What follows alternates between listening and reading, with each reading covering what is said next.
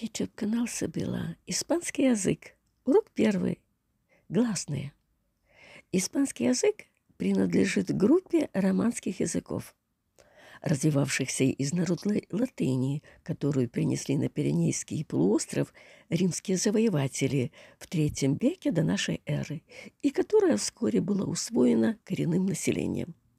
Процессе своего формирования испанский язык заимствовал небольшое количество слов из языка древних иберов, сохраняя в своем словарном составе и грамматике многие черты латинского языка. После распада Римской империи в V веке до наш... веке нашей эры Испания была захвачена вестготскими племенами, которые не оказали заметного влияния на культуру и язык народов Пиренейского полуострова. В начале VIII века нашей эры Испания попадает под власть арабов, мавров, принесших с собой передовую для той эпохи культуру. Арабы находились в Испании до конца XV века, и их высокая культура не могла не отразиться на языке коренного населения полуострова. По этой причине в испанском языке имеется значительное число слов арабского происхождения.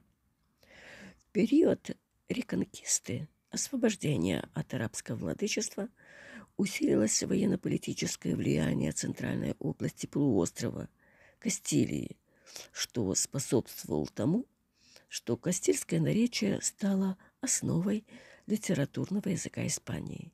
Этим объясняется употребление термина «lengua castellana» – кастильский язык, в значении «lengua española» – испанский язык. В 1492 году Христофор Колумб при поддержке королевского двора Кастилии совершил свое первое плавание через Атлантический океан, и его каравелы достигли острова Сан-Сальвадор. Началось завоевание Нового Света испанскими конкискадорами. Испанский язык стал распространяться на завоеванных территориях по другую сторону Атлантического океана. В настоящее время число говорящих на испанском языке превышает 300 миллионов человек. Кроме Испании, на этом языке говорят в 18 странах Латинской Америки. Аргентина, Боливия, Венесуэла, Гватемала, Гондурас, Доминиканская республика, Колумбия, Коста-Рика, Куба, Мексика, Никарагуа, Панама, Парагвай, Перу, Сальвадор, Уругвай, Чили, Эквадор и на Филиппинах. Испанский язык является одним из пяти основных рабочих языков ООН. В настоящее время различают несколько национальных вариантов испанского языка в Латинской Америке. Кубинский, мексиканский, аргентинский и другие. Эти различия проявляются в фонетике, грамматике и особенно в лексике. Кастильский диалект универсален, его понимают во всех испаноговорящих странах. Именно поэтому изучение испанского языка начинают с изучения кастильского диалекта, положенного в основу испанского литературного языка. Испанские гласные, в отличие от русских, характеризуются более активной артикуляцией и отсутствием редукции, ослабленного произношения безударных гласных. Отработку гласных и постановку правильной артикуляции лучше производить в такой последовательности И, Э, А, О, У. Буква А обозначает звук А, более передний, чем русский. Гласный А под ударением. Карабана. Звук О обозначает буквой О. Губы округлены, выдвинуты вперед несколько больше, чем при произнесении русского ударного О. Протоколу.